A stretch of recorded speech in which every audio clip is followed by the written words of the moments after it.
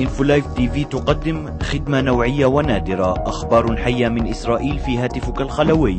انفولايف TV تطلعك في الهاتف على الأحداث المهمة في الشرق الأوسط. الأخبار موجودة بأربع لغات عربية إنجليزية فرنسية والإسبانية. للوصول للخدمة زوروا الموقع انفولايف نقطة TV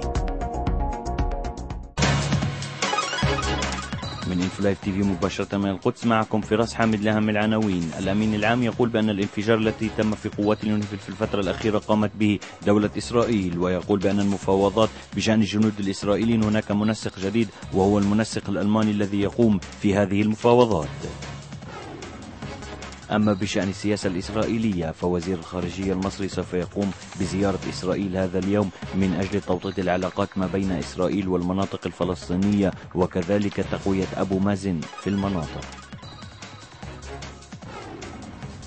أما بما يتعلق في الإضراب الشامل الذي سوف يبتدئ منذ صباح هذا اليوم والذي على ما يبدو سوف يستمر إلى أيام عديدة. فعمال الهستدروت أعلنوا البارحة إضرابا لكن الجلسات ما زالت مستمرة بشأن ذلك لكن يجب الذكر بأن المطار في إسرائيل سوف يبقى مفتوحا حتى يوم الخميس.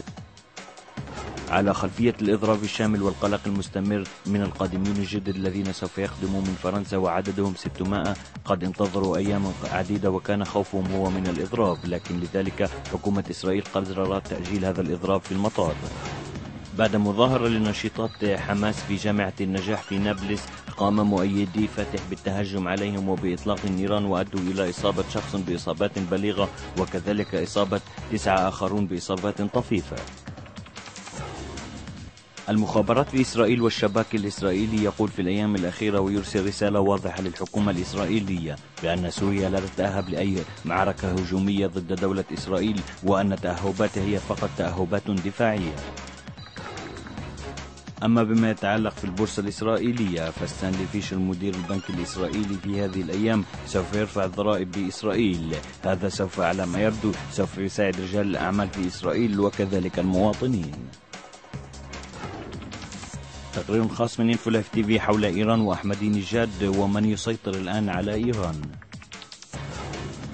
جابي أشكنازي قائد أركان الجيش الجديد يستقبل الجنود الجدد. طابت أوقاتكم وإلى اللقاء. انفولايف TV المحطة التلفزيونية الأولى في الإنترنت. والتي تبث بأربع لغات والتي تبث على مدار الساعة من قلب التاريخ ومن قلب الحدث من منطقة الشرق الأوسط ومن إسرائيل. انفولايف TV هي المحطة التلفزيونية الأولى.